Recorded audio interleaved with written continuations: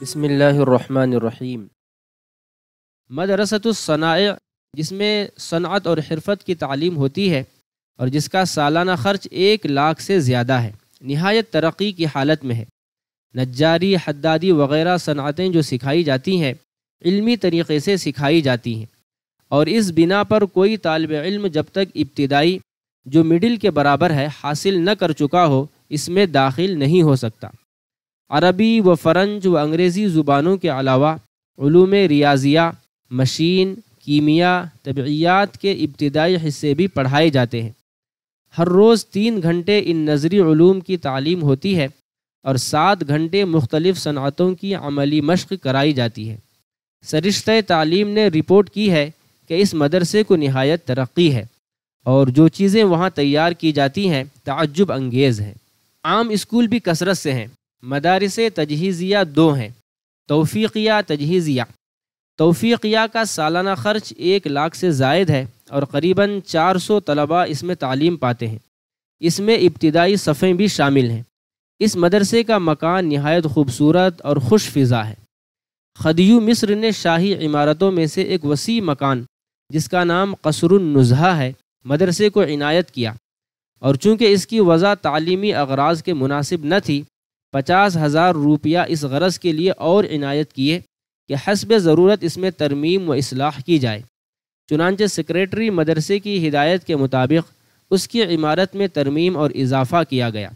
چونکہ مدرسے میں تعلیم کے تین درجے تھے، قسم خاص، ابتدائی، تجہیزی۔ ان تینوں کے لیے جداگانہ عمارتیں تعمیر ہوئی اور تین سو پچاس طالب علموں کے لیے بورڈنگ کے کمرے بنائے گئے۔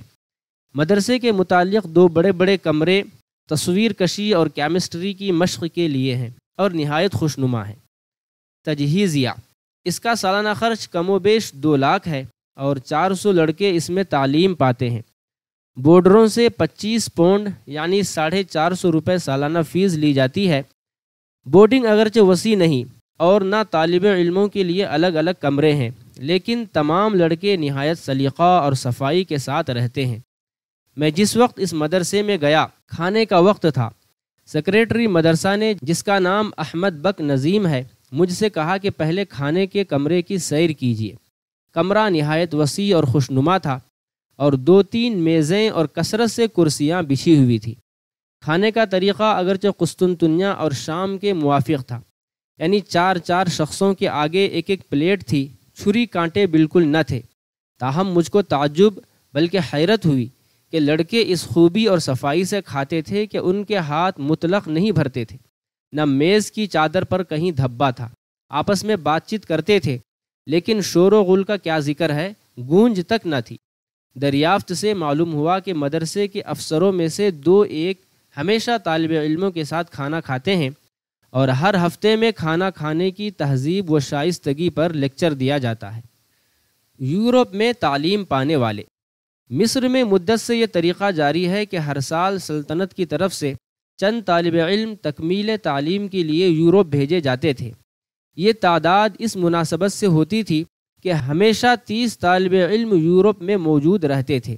سفر اور وہاں کے قیام کا تمام صرفہ گورنمنٹ مصر کو برداشت کرنا پڑتا تھا۔ اگرچہ گورنمنٹ نے نہایت فیاضی سے یہ مصارف برداشت کیے، لیکن بدقسمتی سے گورنمنٹ اور ملک کو ایک مدت تک کچھ فائدہ نہ پہنچا۔ جو لوگ تعلیم پا کر آئے، ان میں ہمارے ہندوستان کی طرح بہت کم ایسے نکلے جو کسی فن میں کامل ہوں، یا ان کی ذات سے ملک کو کسی قسم کا فائدہ پہنچ سکے۔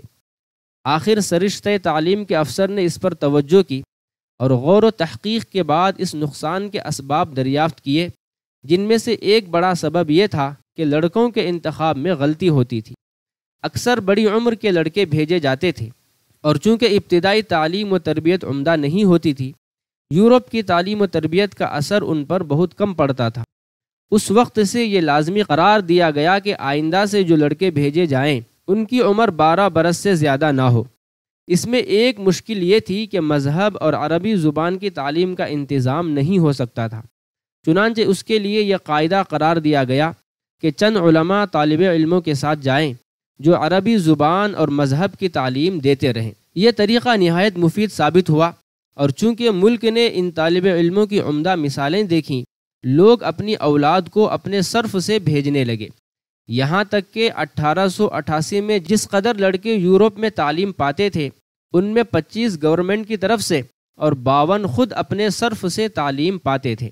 سن اٹھارہ سو اٹھاسی میں جس قدر طالب علم یورپ میں موجود تھے اور جن علوم میں ان کی تعلیم ہوتی تھی، ان کی تفصیل یہ ہے۔ جن سیغوں میں تعلیم پاتے تھے، بیرسٹری، حکومت کی طرف سے پانچ، اپنے خاص صرف سے سترہ۔ ڈاکٹری، حکومت کی طرف سے چار، اپنے صرف خاص سے بارہ۔ امور مالیہ، حکومت کی طرف سے ایک، اپنے صرف خاص سے کوئی نہیں۔ معلمی یا پروفیسری، حکومت کے صرف سے تین، اپنے صرف خاص سے کوئی نہیں۔ زراعت، حکومت کے صرف سے کوئی نہیں، اپنے خاص صرف سے دو۔ بیرسٹری کے لیے تیاری۔ حکومت کی طرف سے ایک اپنے خاص صرف سے کوئی نہیں، ٹیکنیکل کالج کے لیے تیاری۔ حکومت کی طرف سے کوئی نہیں، اپنے خاص صرف سے ایک۔ ان میں سے تیرہ طالب علموں نے جو سلطنت کی طرف سے وظیفہ پاتے تھے، نہایت اعلیٰ درجے کی ڈگریاں حاصل کی۔ ایک ان میں رشدی تپو زادہ تھا، جس کو بیرسٹری میں ڈاکٹری کی سند ملی۔ ایک لڑکا جس کا نام اسماعیل آفندی تھا اور فرانس کے کالج میں پروفیسری کی تعلیم پاتا تھا۔ طبعیات کے امتحان میں تمام کالج میں اس کا دسواں نمبر رہا۔